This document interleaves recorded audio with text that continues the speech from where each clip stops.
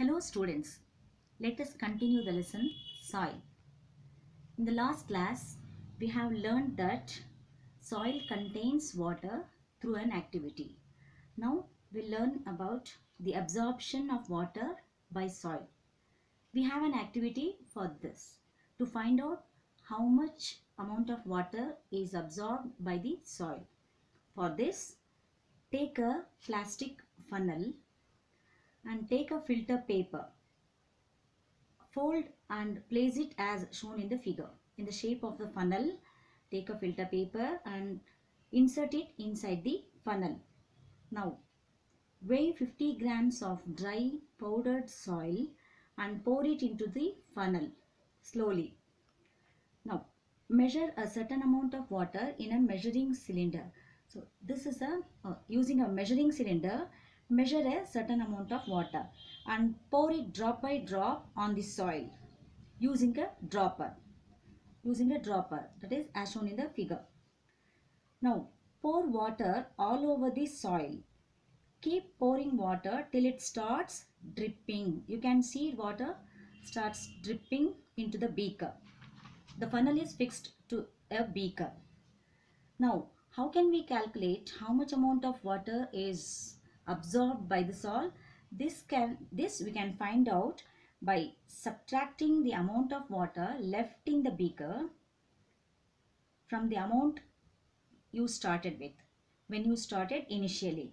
This is the this can give the amount of water retained by the soil. So this can be given by the formula. Weight of soil, for example, it may have taken 50 grams. So initial volume of water, what we have measured, that is UML. And final volume of water that is collected in the beaker is VML. So volume of water absorbed by the soil equals U minus VML. That is final volume of water minus initial volume of water. U minus V. So the percentage of water absorbed by the soil can be given by the formula U minus V divided by 50 into percent, sorry 100. So this gives the percentage of water absorbed. Now you can repeat this activity with different soil samples. Right.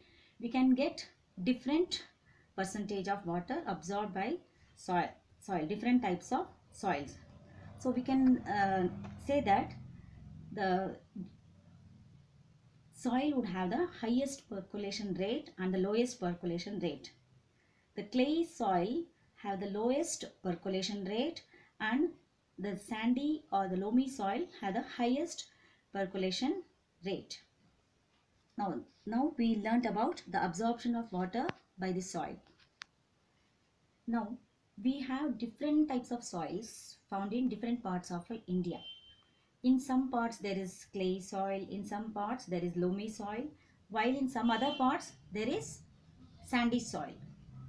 Soil is affected by wind, rainfall, temperature, light and humidity.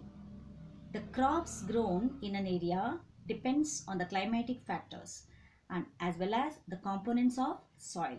They determine the various types of vegetation and crops that might grow in any region. Hmm. Clay and loamy soil are both suitable for growing cereals like wheat and gram as the soil is good at water retaining capacity. They hold more water. Sandy loam or loam is used for cotton as it drains water easily and can hold plenty of air. They have lot of air spaces in between them. Crops such as wheat are grown in the fine clayey soils because they are rich in humus and they are very fertile also.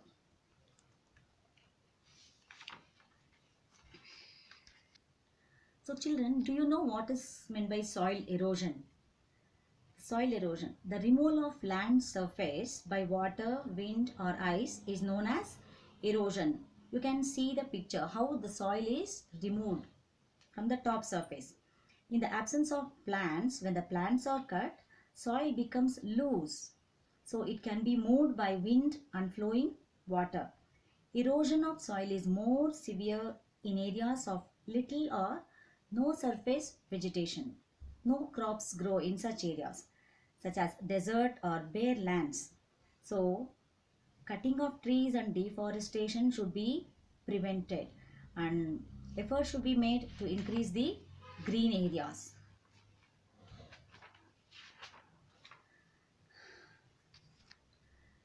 Soil pollution is a one of the serious problems nowadays. Polythene bags and plastics pollute the soil. You can see the picture how the garbage is thrown in the soil. They also kill the organisms living in the soil. That is why there is a demand to ban the polythene bags and plastics. Other substances which pollute the soil are a number of waste products chemicals and pesticides. Waste products and chemicals should be treated before they are released into the soil. You have learnt in the lesson as its base. Before releasing into the water, they, are, they should be neutralized. The use of pesticides should be minimized also to avoid soil pollution.